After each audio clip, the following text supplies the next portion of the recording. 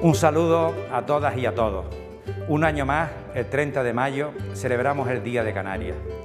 Desde el Ayuntamiento de Santa Lucía hemos organizado una semana llena de actos que ponen en valor nuestra cultura popular y nuestra identidad. Se han proyectado documentales.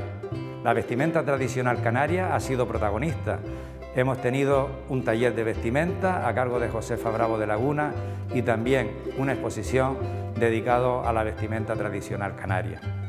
El Día de Canarias terminará en el Teatro Víctor Jara con el timple como protagonista, con uno de los grandes del timple de nuestro instrumento tradicional maseñero, Germán López.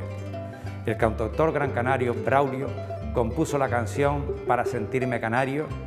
En ella dice, para sentirme canario no he de cantar la folía, ni comer polviando gofio, ni estar en terde o haría.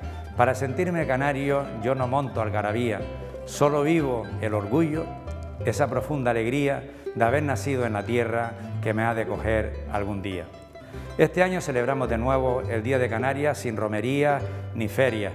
Para sentirnos canarios seguiremos disfrutando de la comida que además tenemos gracias al trabajo de nuestros agricultores y ganaderos.